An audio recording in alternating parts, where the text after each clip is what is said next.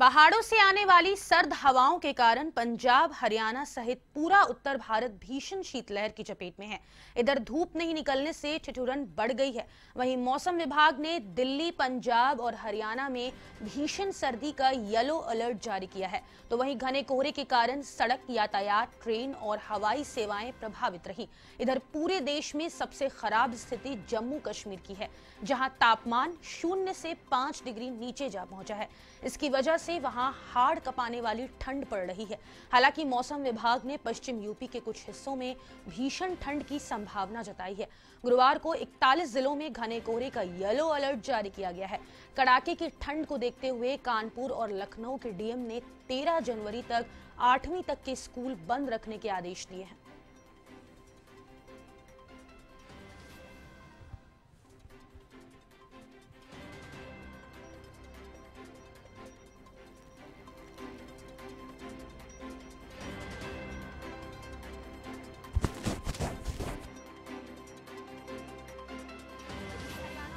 पंजाब में कड़ाके की ठंड का येलो अलर्ट जारी किया गया है। आपको बता दें कि यूपी के इकतालीस जिलों में घने कोहरे का येलो अलर्ट मौसम विभाग ने जारी किया है। पूरे उत्तर भारत में शीतलहर के साथ गलन बढ़ी है। वहीं कश्मीर में तापमान माइनस पाँच डिग्री से भी नीचे जा पहुँचा है, जो कि हाथ कपाने वाली ठंड है। दिल्ली, हरियाणा और पंजाब में कड़ाके की ठंड का येलो अलर्ट जारी किया गया है। कश्मीर में तापमान शून्य से माइनस पाँच डिग्री से भी नीचे पहुँच गया है।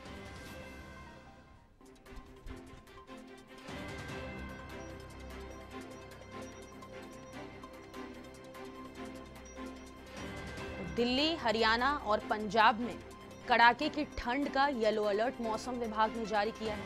वहीं यूपी के कुछ जिलों में भीषण ठंड की भी चेतावनी मौसम विभाग की ओर से जारी की गई है।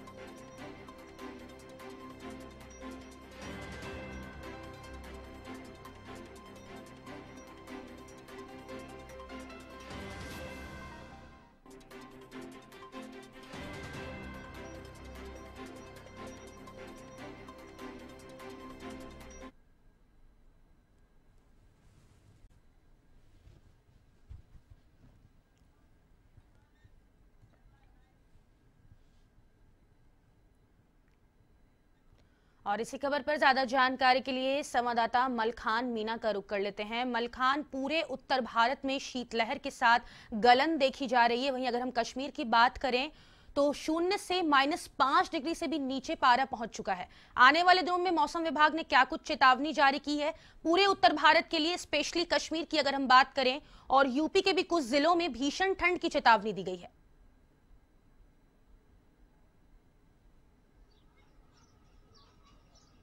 देखिए, बिल्कुल फातिमा जी, जिस तरह से मौसम की अगर बात कर लेते हैं तो मौसम विभाग ने पहले अलर्ट जारी किया था कि जनवरी का महीना पूरी तरह से ठंडा रहने वाला है और वही देखा जा रहा है। जिस तरह से पहाड़ी इलाकों से जो सर्द हवाएँ चल रही हैं, उससे राजस्थान हो, चाहे पंजाब हो, चाहे हरियाणा हो, ये तमाम जो राज्य हैं, ये पूरी तरह से ठंडा हो चुके हैं।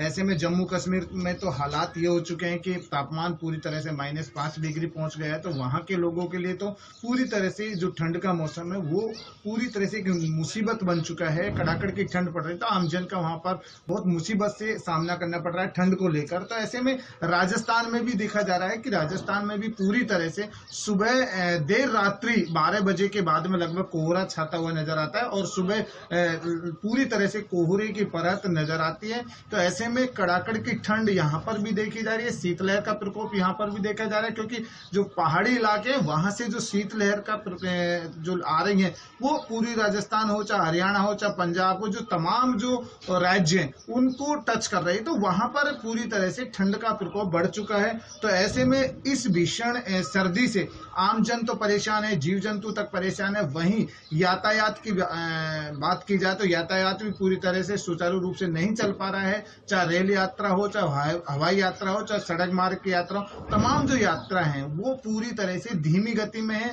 ऐसे में कोहरा पड़ने से पूरी तरह से आम जन पूरा प्रभावित है। तो वहीं गाँवों की अगर बात कर लेते हैं तो गाँव में भी किसान पूरी तरह से प्रभावित हो चुका है। क्योंकि कोहरा और जो शीतलहर का चलना ये आम जन के लिए काफ़ी मुसीबत खड़ी कर रहा है और वही नज़र आ रहा है। क्योंकि देखिए जिस तरह के मौसम विभाग ने पहले अलर्ट जारी किया था कि दिसंबर के लास्ट से ठंड का प्रकोप बढ़ेगा और वो देखने को मिल रहा है। और माना जा रहा है कि सर्दी जो जनवरी का महीना है, वो पूरा ठंडा रहता है। तो ऐसे में जिस तरह से मौसम विभाग ने पहले भी अलर्ट जारी किया था और वही हुआ कि कुछ इकतालीस ज़िले ऐसे हैं जहाँ पर घने कोहरे पड़ रहा है बहुत शीतलहर चल रही है, ठंड का प्रकोप ज़्यादा देखा जा रहा है, जिससे आम जन पूरी तरह से प्रभावित है।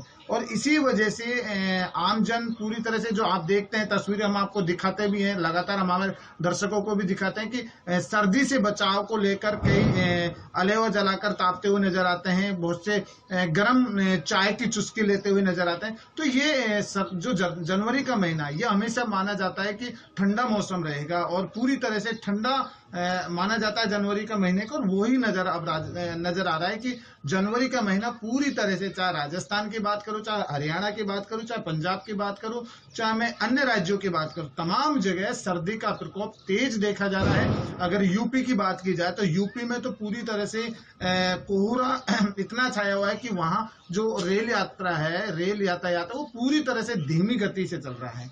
तो ऐसे में पूरी तरह से जनजीवन प्रभावित है। इस वक्त ठंड के मौसम से पूरी तरह से पूरे राजस्थान में हो चाहे पंजाब हो चाहे हरियाणा हो तमाम राज्यों वहाँ पर कड़ाकड़ की ठंड देखी जा रही है। इससे आम जन काफ़ी प्रभावित हो रहा है। तो वहीं अगर मैं कानपुर की बात कर लेता हूँ या लखनऊ की बात कर लेता हूँ हालाँकि देखिए राजस्थान में तो पहले जब कड़ाकड़ की ठंड पड़ी तो, तो यहाँ के कलेक्टरों ने एक आदेश जारी कर दिया था कि एक से और कक्षा आठ तक के बच्चों की तेरह तारीख तक छुट्टी रहेगी जनवरी तेरह जनवरी तक छुट्टी रहेगी। तो उसके बाद में लेकिन अब लखनऊ हो, चाहे कानपुर हो, वहाँ पर जो जिला कलेक्टर है, उन्होंने एक आदेश जारी कर दिया कि कक्षा एक से और आठ तक के विद्यालयों की तेरह तारीख तक छुट्टी बढ़ा दी गई है। तो ऐसे में देखिए, कड़ाकड़ की ठंड का प्रकोप अभी कम नहीं हो रहा है। शीतलहर ज़्यादा बढ़ता जा रहा है, लगातार जैसे जैसे मकर संक्रांति का त्यौहार नज़दीक आ रहा है वैसे वैसे कड़ाकड़ की ठंड बढ़ती हुई जा रही है और एक अनुमान लगाया जा रहा है। मौसम विभाग ने तो पहले ही चेतावनी दी थी कि जनवरी का महीना पूरी तरह से ठंडा रहेगा तो हो सकता है कि मकर संक्रांति के बाद 20 से 25 जनवरी तक और भी कड़ाकड़ की ठंड बढ़ सकती है क्योंकि जनवरी का महीना ठंडा रहता है और इस ए, ए, महीने में जन जो शीतलहर है वो पूरी तरह से अपना प्रकोप दिखाता है और अपना प्रकोप दिखाता हुआ नज़र आ रहा है। तो आम जन काफ़ी कुछ परेशान हो रहा है। और ऐसे में देखिए सबसे बड़ी चीज़ है कि जहाँ अगर मैं मौसम विभाग बार बार कह रहा है कि कहीं